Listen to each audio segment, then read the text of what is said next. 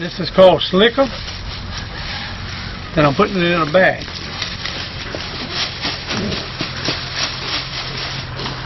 That's a big slicker. Look at the juices. Actually, what we do with this during the bake season, this is the bake season. Uh, we'll take them and put them in these bags.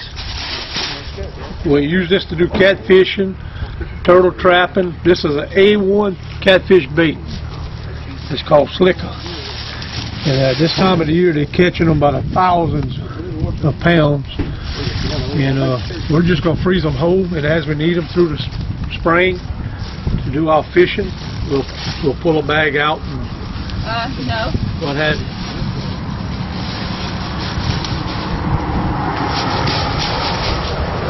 And it, uh, Bag?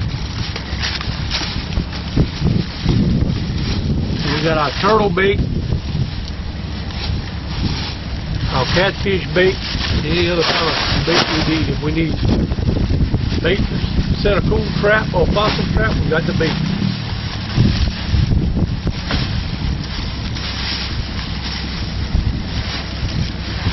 A very oily fish, very stinky fish, very nasty fish, and uh, that's why we use them as bait, and there's probably a lot of bones in them.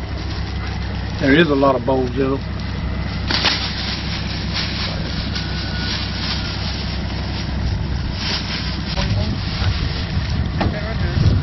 See the slide? I don't know if you can pick that up with the camera. Look at the slide.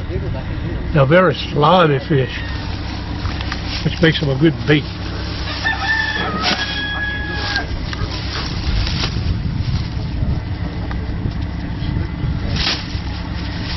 Yeah, It's camouflage with the trash bag.